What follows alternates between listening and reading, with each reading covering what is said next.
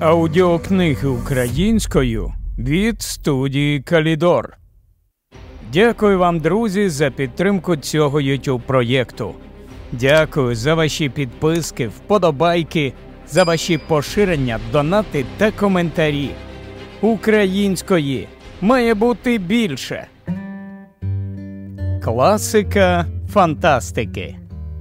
Фредерік Браун. Персона грата. Персона грата, буквально з латинської бажана персона, зазвичай означає постійний статус дипломатичного працівника. Тут у сенсі фігура, яка однаково влаштовує обидві сторони.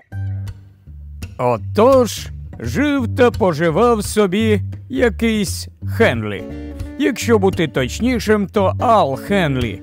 І якби ви його побачили на власні очі, то ніколи б не подумали, що може бути із цього хлопака бодай якась користь.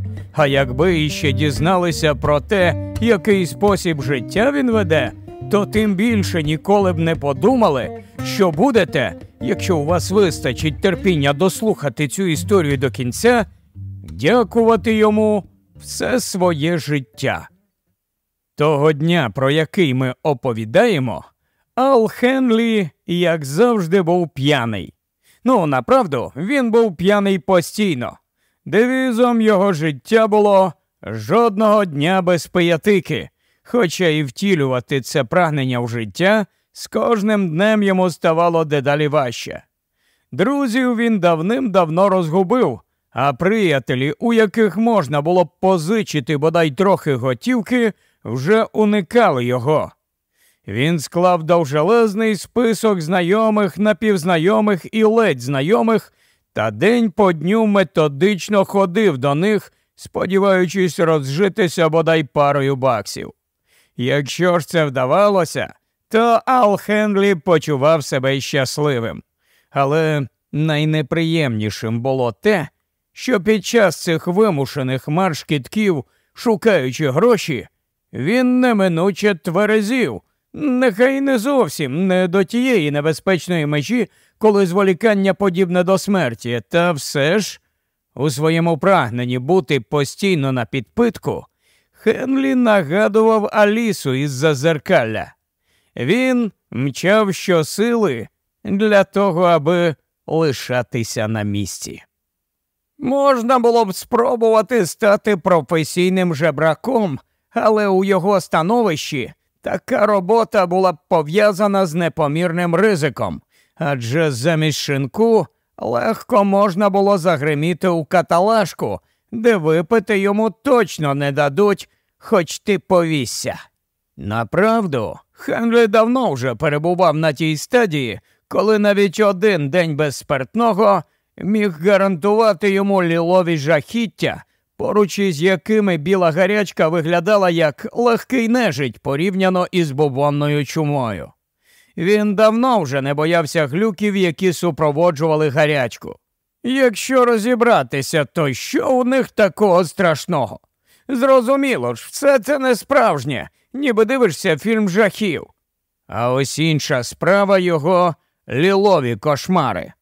Але аби познайомитися із ними, необхідно поглинати віскі у величезних кількостях, поглинати роками, а тоді різко припинити, як це буває із тими, хто потрапляє за грати. Варто було тільки Аллу Хенлі пригадати про ліловий кошмар, як у нього відразу ж тряслися руки. Щоправда, збоку це не надто впадало в око, тому що тієї самої хвилини він якраз трусив руку якогось нерозлучного приятеля, із яким зустрічався до цього аж двічі за все своє життя. І кожна із тих попередніх зустрічей обов'язково супроводжувалася поглинанням великої кількості молочка від скаженої корівки, тож Генлі із повним розумінням вважав, що доводиться зустрічному чимось на кшталт молочного брата.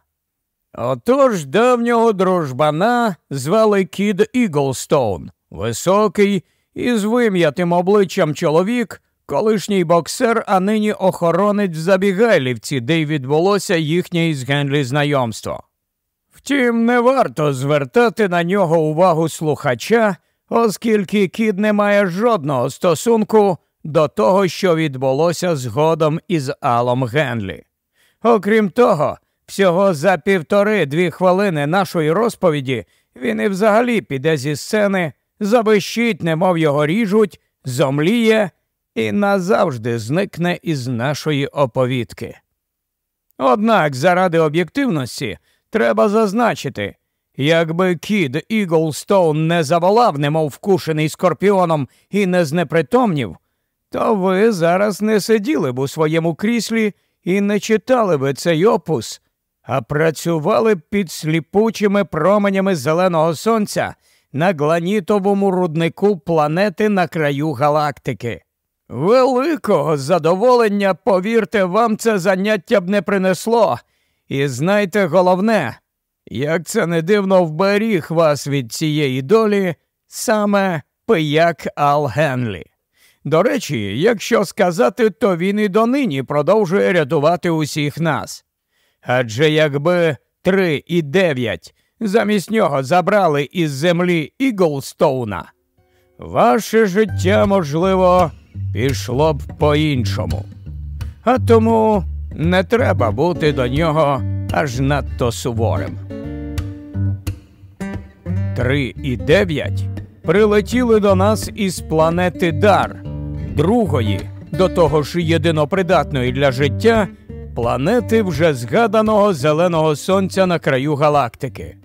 Три і дев'ять це, звісно, не їх повні імена.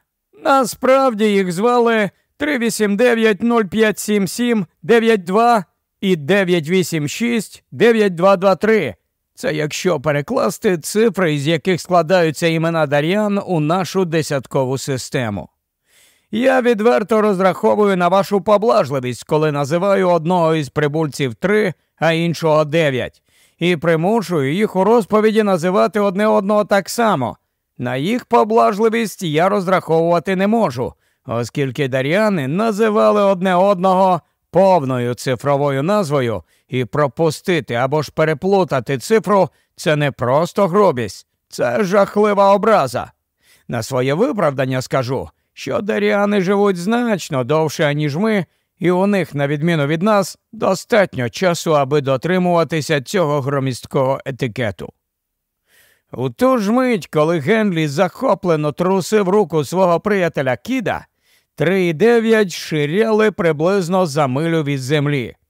Ні, ні, ні про який літак, космічний корабель чи літаючу тарілку мова не йде. Я, звісно, знаю, що таке літаючі тарілки, і можу детально вам про них розповісти, але тільки давайте іншим разом, оскільки тепер мова йде про Даріан. Одним словом, вони доволі комфортабельно ширяли собі у якомусь просторово-часовому об'ємі. Ви, звісно, можете запитати, а що ж це таке просторово-часовий об'єм? Знаєте, я спробую пояснити якнайдоступніше. Даріани відкрили, нам іще належить зробити таке відкриття, якщо пощастить, що Альберт Айнштейн мав рацію на всі 100%. Матерія дійсно не може переміщатися зі швидкістю, яка перевищує світлову, не перетворюючись при цьому на енергію. Сумнівне, знаєте, задоволення перетворюватися на енергію, хіба ні? Отож даряни теж дотримувалися цієї думки і все ж таки почали подорожувати галактикою зі суперсвітловою швидкістю. Вчені Дара довели, що можна переміщатися у просторі із будь-яким прискоренням, якщо водночас переміщатися у часі. Одним словом, рух має відбуватися не у просторі, як у такому, а саме у просторово-часовому континуумі. Континуум суцільне матеріальне середовище, властивості якого змінюються у просторі безперервно. Отож, якщо пояснити простими словами, то від планети Дар до Землі Даріани здолали відстань 163 тисячі світлових років. При цьому для компенсації вони на 1630 століть змістилися у минуле.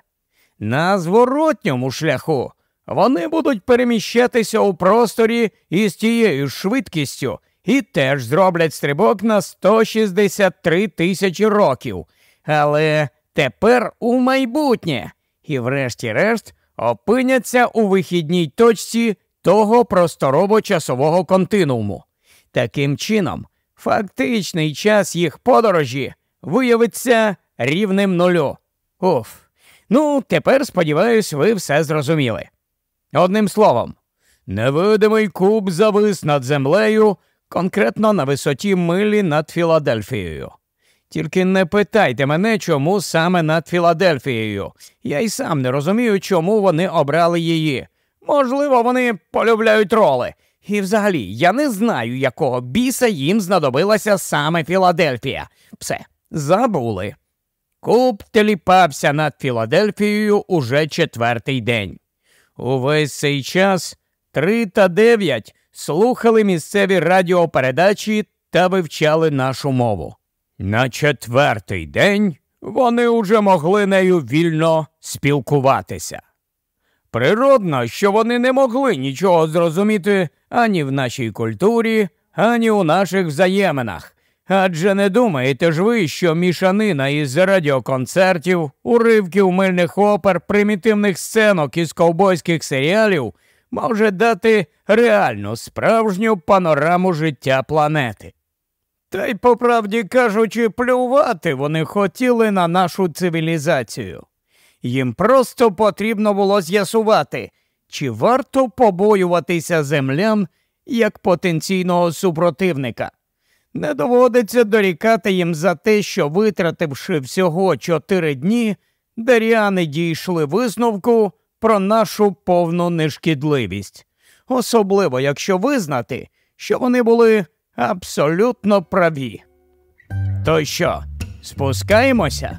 запитав три. Саме час, відповів дев'ять. І три обвився навколо пульта управління.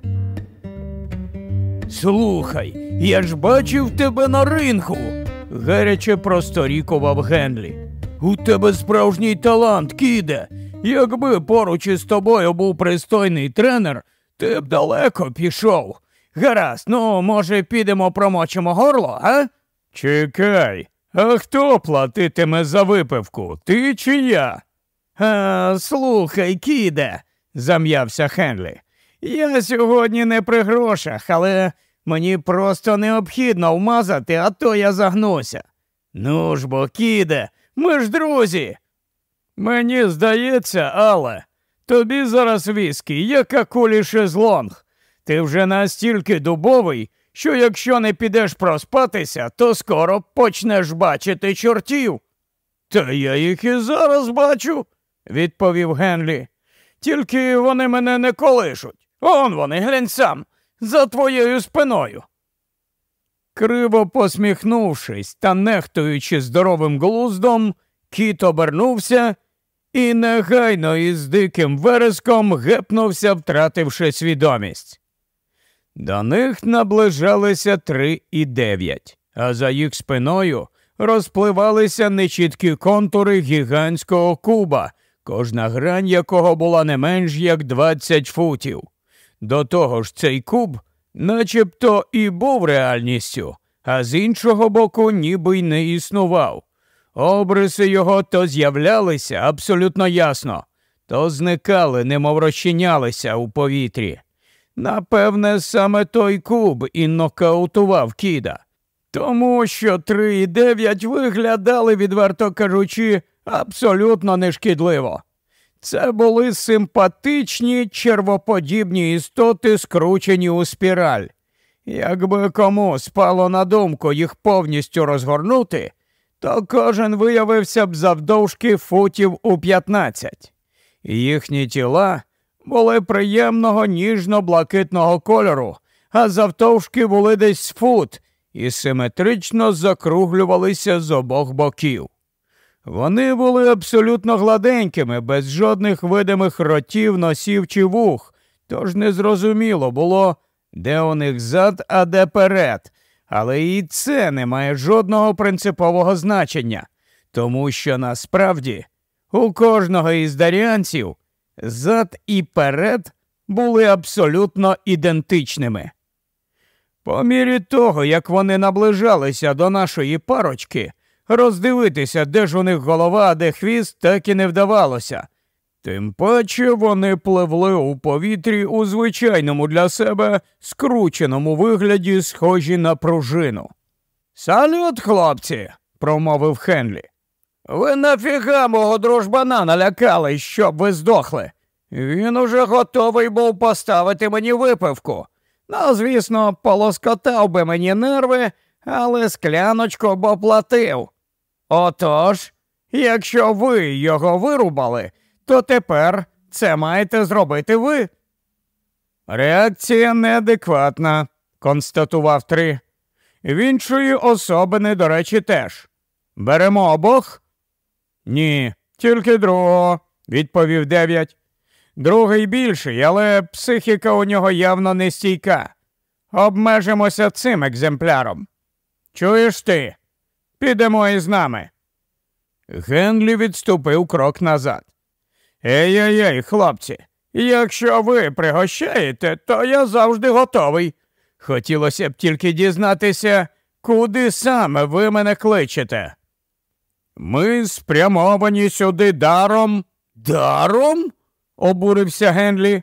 Задарма, хай вам кішки муркочуть. Особисто я з місця не зрушу, доки ви, скільки б вас там не зібралося, не налєте мені чогось міцного. Ти розумієш, що він каже? запитав дев'ять. Три заперечно похитав одним із своїх кінців. То що, будемо застосовувати силу? Ну, може, він іще піде добровільно.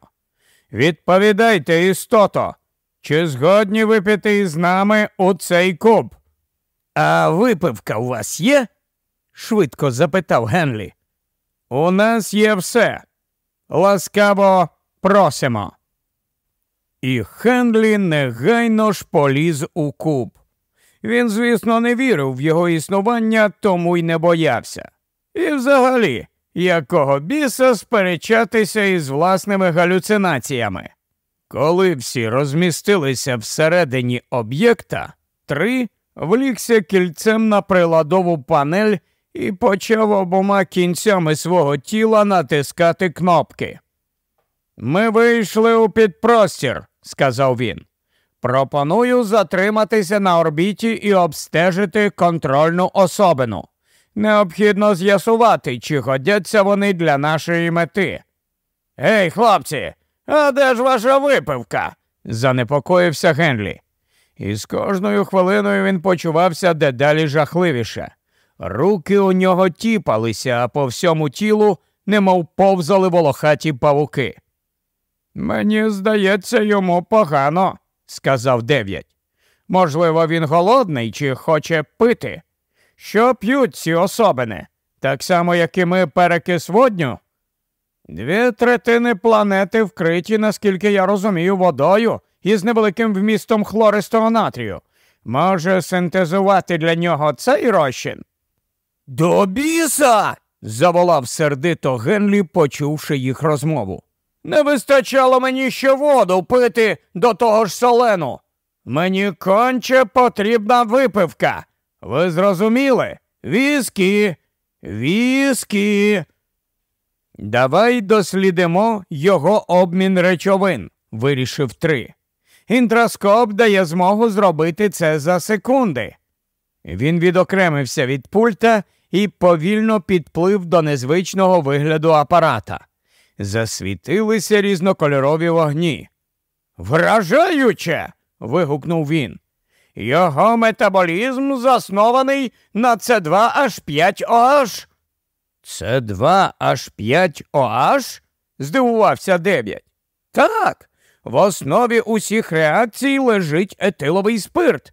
Є іще певна кількість H2O, але як це не дивно, без хлористого натрію, присутнього у водній поверхні планети.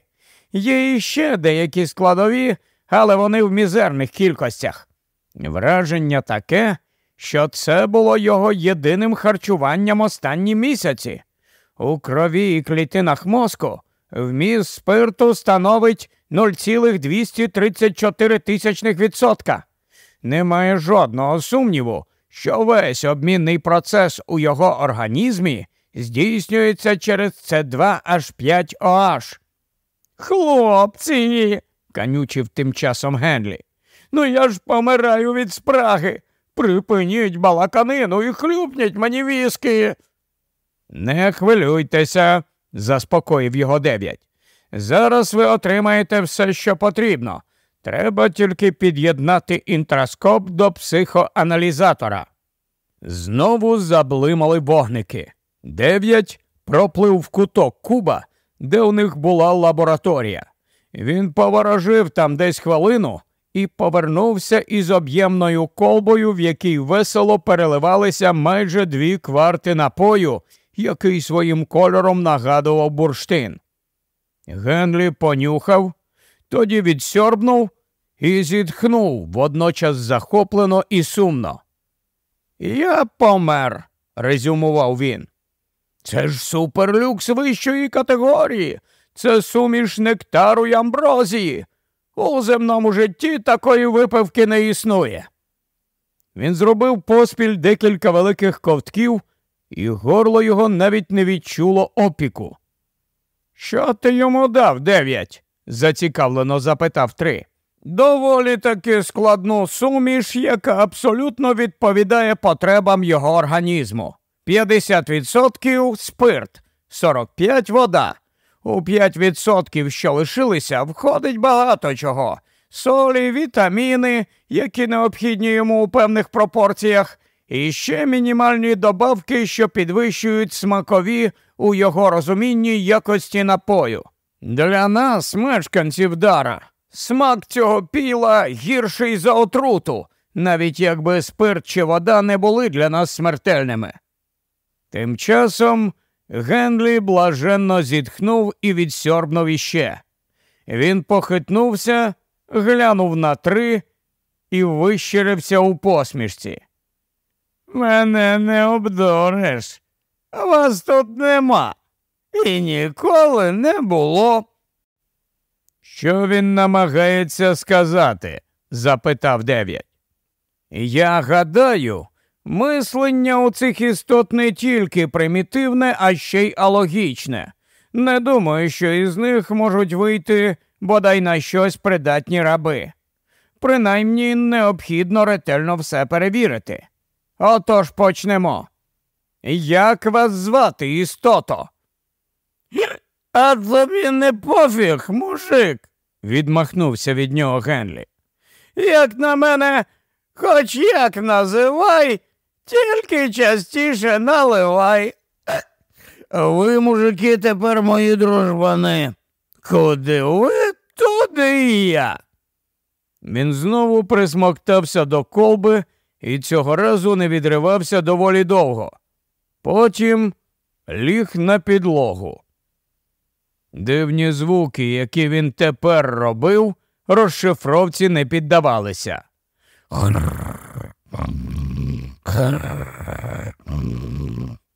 Що це означало для Даріан, так і лишилося загадкою. Вони провели над ним усі можливі досліди і аналізи, які входили до їх наукового арсеналу. Минуло декілька довгих годин. Нарешті Хенлі почав приходити до тями, він на силу сів і глянув на іншопланетян червоними очима. Все одно не повірю, вимовив він. Вас нема. Ви просто міраж. Дайте ковточок чогось заради всіх святих. Йому простягнули колбу. Дев'ять за цей час наповнив її до колишнього рівня. Ал Хенлі присмоктався до неї, немов немовля до материнських грудей і, опустивши повіки, занурився у нірвану.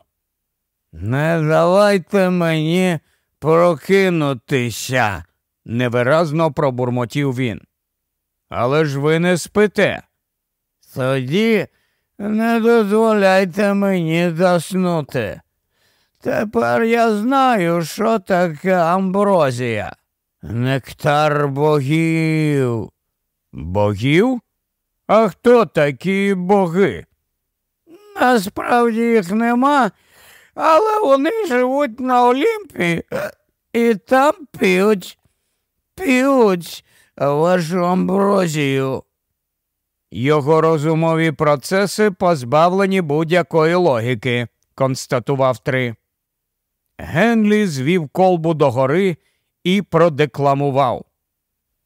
О, шинок ти рай, і стійка рай, і з місця вони не зрушать. Вип'ємо ж за рай і райське блаженство. Тут використовується парапраз знаменитого вірша Реярда Кіплінга Балада про схід і захід. О захід ти є захід, о схід ти є схід. І з місця вони не зійдуть. Чекайте, істото, що таке рай? Генлі на якусь мить задумався, а тоді натхненно продекламував. Дар. Це дар. Дар? Що ви знаєте про дар? Дар небес це диво з див. Нині ти дубовий, а тоді протверезів. Хлопці, слухайте, поки ми не розлучилися, я за вас вип'ю. І він негайно втілив свою ідею у життя. Його інтелект в зародковому стані, придатний тільки для фізичних робіт, резюмував три. Треба з'ясувати, чи мають земляни достатню витривалість. Якщо так, будемо готувати вторгнення та захоплення усіх. Все ж таки декілька мільярдів мешканців. Зрештою, така кількість навіть примітивних рабів може бути використана. Ура! зарепетував раптом Генлі. По-моєму, з координацією рухів у нього явно не все гаразд, сказав занепокоєно три. Але, можливо, в нього є сила? Як ваше найменування, істото? Дружбани, вам я дозволяю називати мене Алом. Аліком. Хенлі із великими труднощами зіпнувся на ноги. Ал, це ваше особисте ім'я чи найменування всього вашого виду? Чи є більш повне найменування? Хенлі сперся на стінку і трохи подумав. Це найменування виду, п'яно закивав він головою. «Е, Алік, скорочено, а повне. І зараз я вам назву, як воно звучить латиною. І він виклав латиною настільки, наскільки пам'ятав. Нам треба перевірити вас на витривалість. Ви будете бігати між двома стінами до повної втоми. Віддайте колбу з вашим харчуванням. Я її потримаю. Дев'ять хотів забрати у Генлі дорогоцінну колбу, але той уп'явся в неї мертвою хваткою. Один ковточок, хлопці, малесенький ковточок, і я негайно побіжу. Присягаюсь. Куди скажете, й побіжу. Ну що ж, можливо, ця їжа зміцнить його, висловив припущення три. Дозвольте йому це дев'ять. А що, коли таке блаженство більш не повториться? злякався Генлі і присмоктався до колби, наскільки мав сили. Після цього він радісний, як гладіатор, що вирушає на смерть, привітав Даріан, яких чомусь стало четверо. Син на перегони, хлопці, усією компанією. Робимо ставки, я безперечний лідер. Зірвете джекпот, але спершу іще трохи допінгу. Допінгу він дійсно прийняв небагато, всього декілька унцій, але не тому, що спинився сам, а тому, що його зупинив три. Досить, сказав той. Починайте біг.